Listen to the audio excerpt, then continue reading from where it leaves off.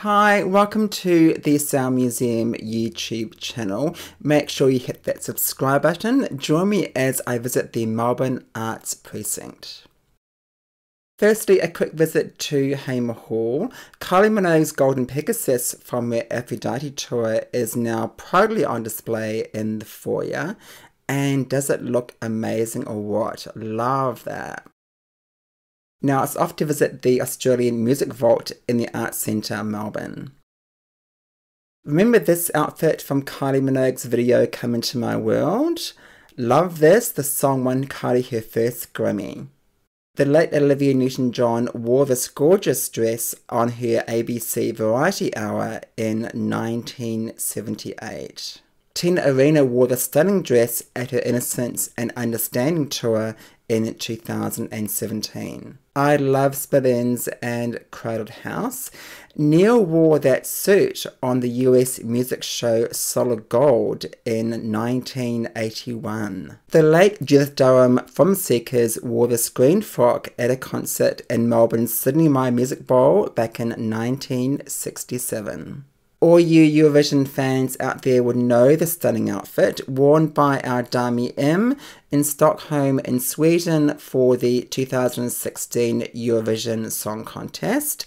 Dami came second with The Sound of Silence, but we all know she should have won. This dress up close is absolutely stunning. One of Nick Cave's personal notebooks from the mid 80s.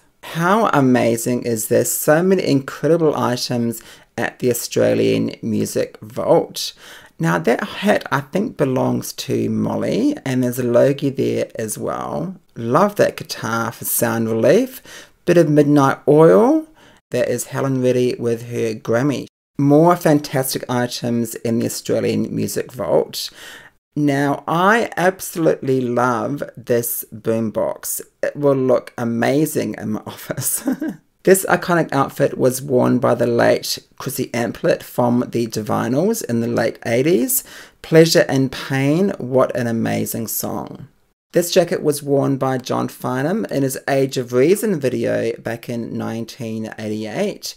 He won the King of Pop crown from 1969 to 1971. He also won the TV Week Pop Award in 1971, and that is John's Hall of Fame aria from 2003. When you visit the Australian Music Vault, there is a list of ARIA Hall of Fame inductees, so many legendary artists on this list. Speaking of the ARIAs, this year the band Jet were inducted into the ARIA Hall of Fame. Check out this amazing display for the band at the Australian Music Vault. A guitar there, all their CDs, vinyl, disco sucks.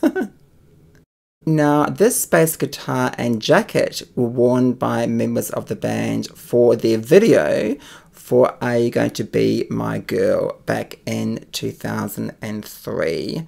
That's a special display for Jet, this year's ARIA Hall of Fame inductees. What I love about this place is a massive wall full of tour posters. Check this out. It looks absolutely incredible. So many great acts here. There's John Farnham. We love him, don't we? INXS, of course, Jimmy Barnes, Hilltop Hoods, Australian Crawl, ACDC and Angels, that's a great double bill. So many great posters on this wall. This year, the legendary Australian record label Mushroom turns 50, and here is another display to celebrate that achievement. Skyhooks, Jimmy Barnes. Look at those gold discs.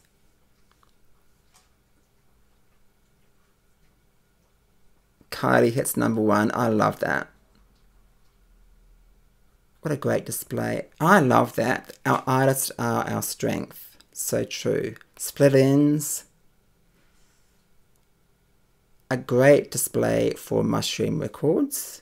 Oh, look at those badges. Now, back in the 80s, I used to collect badges. I absolutely loved badges. The late Michael Gudinski from Mushroom done so much for Australian music.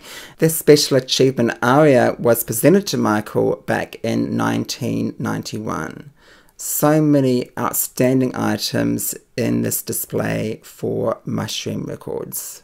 Now, I so agree with this. Don't kill live music. So true. Australia has a great live music scene, especially here in Melbourne. When you visit the Australian Music Vault, check out the merch available. There's t-shirts, caps, tote bags, there's books, Sunbury Festival, there is some stubby holders there.